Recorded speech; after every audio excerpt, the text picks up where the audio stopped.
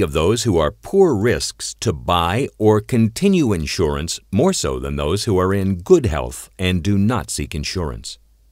Insurance company underwriters want to avoid adverse selection. One of the most important factors that must exist at the beginning of the application and underwriting process is insurable interest. Insurable interest means that the person purchasing the policy must be in a position to lose something of financial value if the insured should die. An applicant has insurable interest in his or her own life, but may have an